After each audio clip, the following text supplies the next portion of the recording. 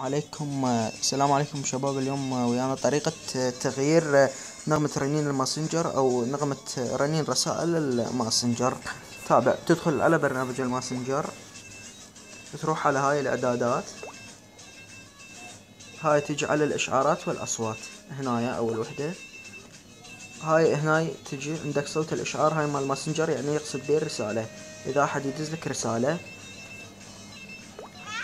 هاي هاي عندك نغمة الرنة الافتراضية يعني عندي وهاي نغمة الماسنجر. مثلا أريد أغيره على أي شي أجي مثلا هاي ضربة طرف الطبلة أو مثلا حتى إذا بس يعني هيش ضجيج أو كل يعني كل شي هاي عندك أنواع النغمات هنايا. عندك مثلا هاي طفل يبلغ على الرسالة. هاي message تدوس على أي وحدة وتضغط على موافقة هسه ما راح أغيرها.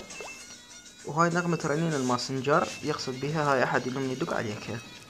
هاي الافتراضية مثلا غيرها على أي وحدة عندي هذي أكو غيرها مثلا هذي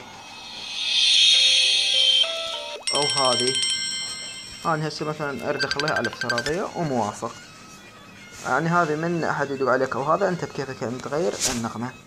هسه يعني درس بسيط حول الماسنجر وتغيير النغمات وكان معكم غسوني باي.